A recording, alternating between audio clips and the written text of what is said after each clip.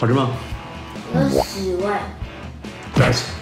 新儿子的吐槽最致命。汪小菲上个月二十七号跟台湾女友 Mandy 再婚，沉浸新婚喜悦的汪小菲可没忘了事业和儿女。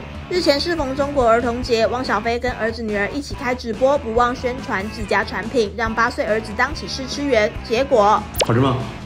有屎味。